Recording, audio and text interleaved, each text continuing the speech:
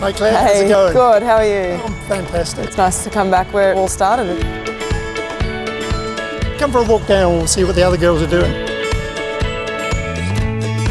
I remember training out on these fields. Not much has changed. Hey girls, uh, I'm Clare Polkinghorne. I play for the Brisbane Roar and also for the Westfield Matildas.